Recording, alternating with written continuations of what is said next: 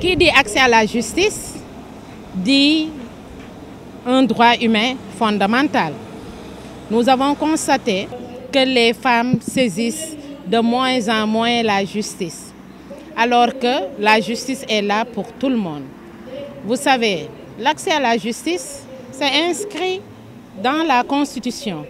Donc il appartient aux femmes de saisir la justice.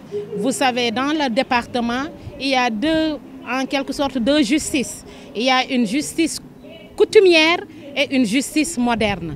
Et jusqu'à présent, la justice coutumière ne veut pas laisser la place à la justice moderne.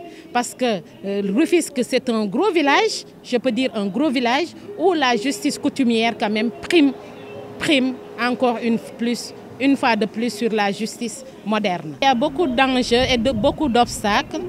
Parmi les obstacles, il y a euh, l'aspect financier, Parmi les enjeux, il y a les barrières socio-culturelles. Elles ne comprennent pas en quelque sorte l'écriture juridique. Vous savez, le droit est trop technique. Et pour pouvoir comprendre ces, ces textes, il faut au moins avoir un certain niveau.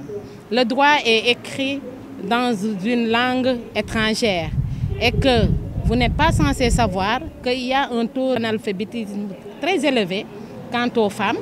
Donc l'AGS, comme toujours, est là pour sillonner les coins les plus reculés pour sensibiliser les femmes dans leurs droits.